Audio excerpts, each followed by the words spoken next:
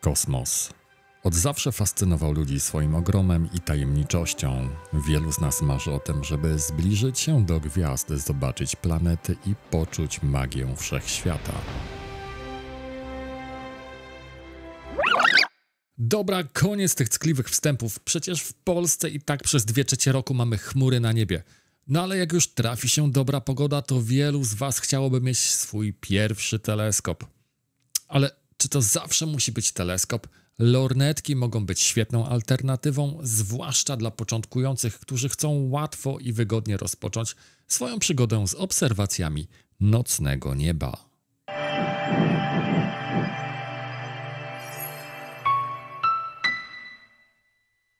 A dzisiejszy odcinek powstał dzięki uprzejmości firmy Delta Optical, która pożyczyła nam do zabawy pięć lornetek. Sprawdźmy, z czym przyjdzie nam się zmierzyć. Do sprawdzenia dostaliśmy model Starlight, dwa modele z serii Titanium oraz dwa modele z serii Extreme. Za oknem deszcze, także dzisiaj ograniczymy się do zrobienia unboxingu. Subiektywna ocena jakości obrazu i wygody użytkowania to zadanie na kolejny odcinek. Jeszcze słowo wyjaśnienia, co oznaczają liczby przy nazwie lornetki. Oznaczenie Starlight 15 razy 70 w przypadku lornetki można odczytać w następujący sposób.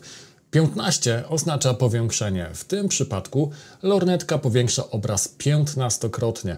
Oznacza to, że obiekt obserwowany przez lornetkę wydaje się być 15 razy bliżej niż w rzeczywistości. 70 odnosi się do średnicy obiektywów w milimetrach. Jest to średnica soczewek, które zbierają światło. Im większa średnica, tym więcej światła lornetka może zebrać, co jest szczególnie istotne podczas obserwacji w słabych warunkach oświetleniowych. Zaczniemy od modelu Starlight o powiększeniu 15 razy i średnicy obiektywu 70 mm. Tak prezentuje się pudełko. Zobaczymy, co mamy w środku. A wewnątrz znajdziemy prosty pokrowiec lornetkowy wyposażony w pasek. Szmatkę do czyszczenia optyki, cienki pasek lornetkowy. Na szczęście lornetka nie jest bardzo ciężka mimo swoich rozmiarów. No i samą lornetkę, która wyposażona jest w zakrywki obiektywowe oraz okularowe.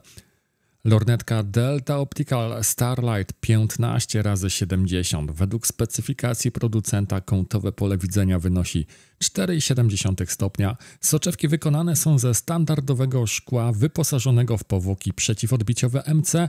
Źrenica wyjściowa w tym modelu wynosi 4,7 mm, a szkło pryzmatach to BAK 4.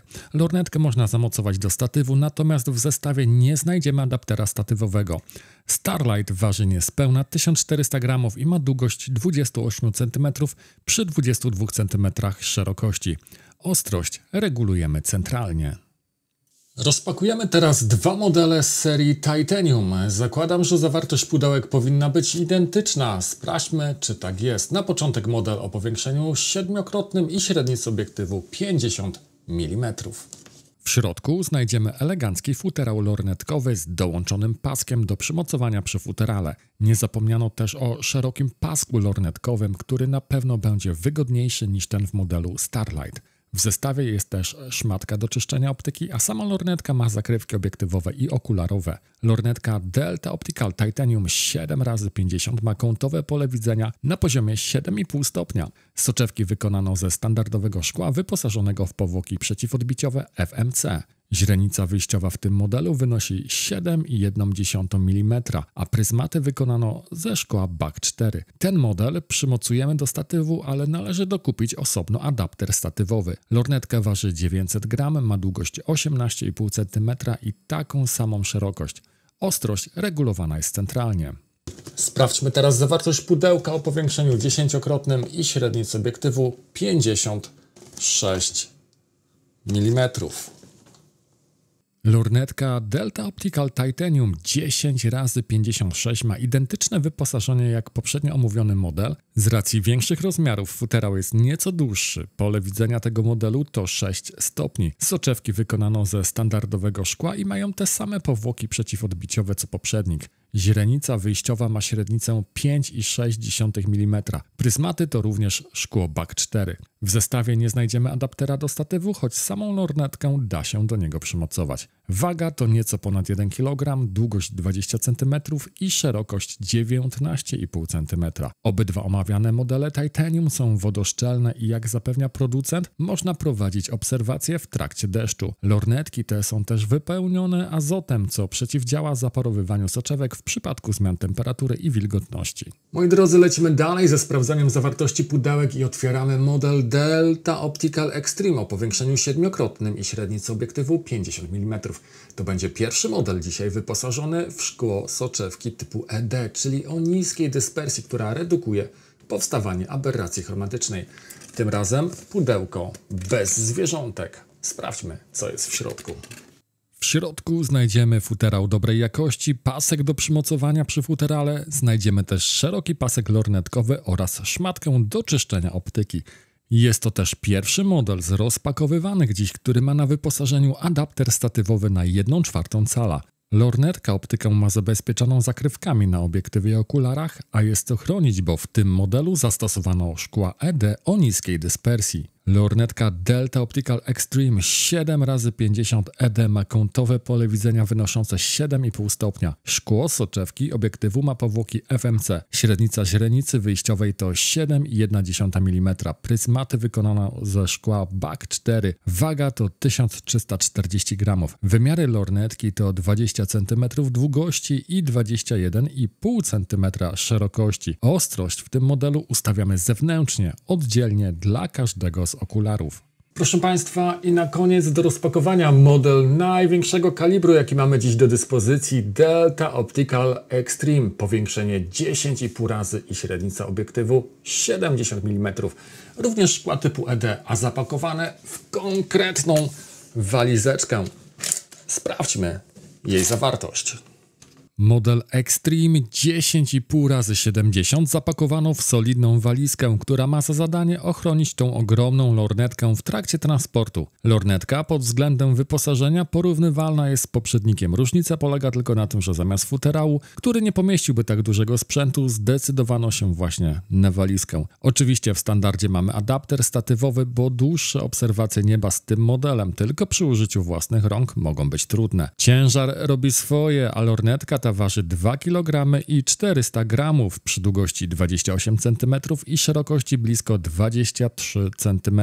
Identycznie jak poprzednik mamy tu na wyposażeniu szkła ED o niskiej dyspersji pokryte powłoką FMC. Kątowe pole widzenia wynosi 5 stopni, a źrenica wyjściowa to 6,7 mm. Ten model oraz poprzednio omawiane są w pełni wodoszczelne i zabezpieczone przed zaparowaniem dzięki wypełnieniu azotem. Testy w terenie zrobimy jak tylko pogoda na to pozwoli. Wybierzemy się za Poznań pod ciemniejsze niebo. Porównamy wtedy, jak lornetki odzorowują e, gwiazdy z dala od świateł w stosunku do tego, co widać z mojego balkonu w Poznaniu. Ale już teraz możemy zasymulować sobie, jakie pole widzenia będzie mieć każdy z omawianych modeli. Wykorzystamy do tego znaną Wam już aplikację Stellarium, która potrafi zaprezentować pole widzenia lornetki na wybranym obiekcie astronomicznym. Wystarczy tylko wprowadzić do bazy danych nasze urządzenia. Robimy to w zakładce okulary. Zaznaczamy opcję lornetka i wprowadzamy trzy parametry: pole widzenia lornetki, powiększenie oraz średnicę. Dodajemy też nazwę, żeby odróżnić poszczególne sprzęty. Pole widzenia, powiększenie i średnica powinny być wypisane na kartoniku. Gdy uzupełnimy już niezbędne parametry, możemy przejść do podglądu nieba. Wcześniej wprowadziłem już do Stellarium wszystkie rozpakowane lornetki. Wybieramy dowolne miejsce na niebie i sprawdzamy, jak będzie wyglądało pole widzenia. Sprawdźmy to na przykładzie galaktyki Andromedy. Mamy lipiec, zatem szukamy jej na wschodnim niebie. Klikamy na obiekt, spacją wyśrodkujemy. Następnie klikamy na ikonę okularu w prawym górnym rogu i obraz podmienia się na widok z naszej pierwszej lornetki – na początek model Extreme 7x50, następnie Extreme 10,5x70, następnie Titanium 7x50 i 10x56, na koniec Starlight 15x70.